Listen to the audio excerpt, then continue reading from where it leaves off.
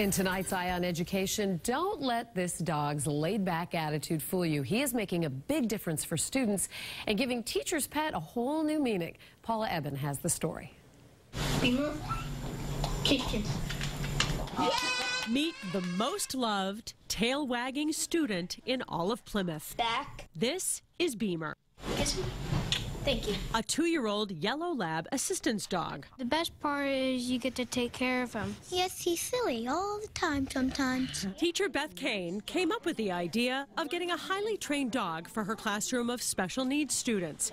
The NEADS organization quickly matched Ms. Kane with Beamer, and he's been a member of this class at Nathaniel Morton Elementary School since September. It's been a learning experience for me as well as for the kids in the class. That's where me and he sleep.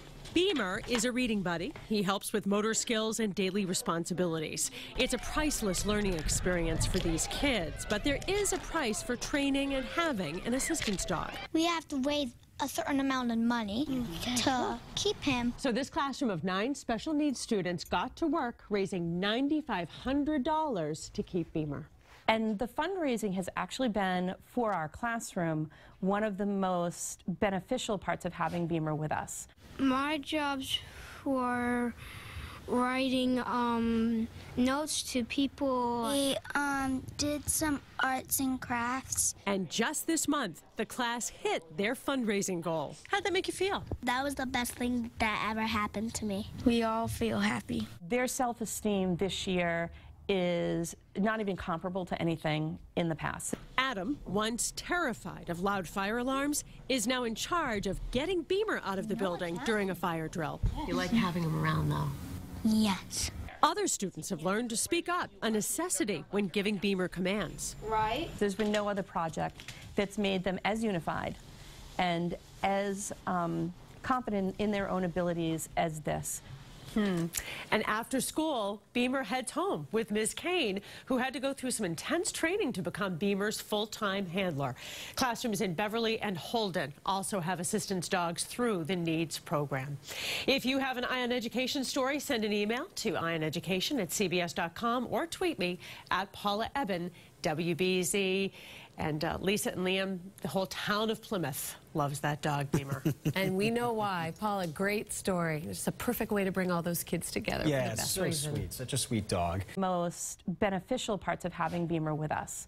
My jobs were writing um, notes to people. We um, did some arts and crafts. And just this month, the class hit their fundraising goal. How'd that make you feel? That was the best thing that ever happened to me. We all feel happy. Their self esteem this year is not even comparable to anything. Beamer is a reading buddy. He helps with motor skills and daily responsibilities. It's a priceless learning experience for these kids, but there is a price for training and having an assistance dog. We have to raise a certain amount of money to keep him. So this classroom of nine special needs students got to work raising $9,500 to keep Beamer. And the fundraising has actually been, for our classroom, one of the In tonight's Eye on Education, don't let this dog's laid-back attitude fool you. He is making a big difference for students and giving teacher's pet a whole new meaning. Paula Ebben has the story. Kitchen. Meet the most loved, tail-wagging student in all of Plymouth. Back. This is Beamer, Kiss me. Thank you. a two-year-old yellow lab assistance dog. The best part is you get to take care of him. Yes, he's silly all the time sometimes. Teacher Beth Kane came up with the idea of getting a highly trained dog for her classroom of special needs students. The NEADS organization quickly matched Ms. Kane with Beamer, and he's been a member of this class at Nathaniel Morton Elementary School since September. It's been a learning experience for me as well as for the kids in the class. That's where me and he sleep. Beaming In the past. Adam, once terrified of loud fire alarms, is now in charge of getting Beamer out of the building during a fire drill. You like having him around, though. Yes. Other students have learned to speak up, a necessity when giving Beamer commands. Right? There's been no other project that's made them as unified and as um, confident in their own abilities as this. Hmm. And after school,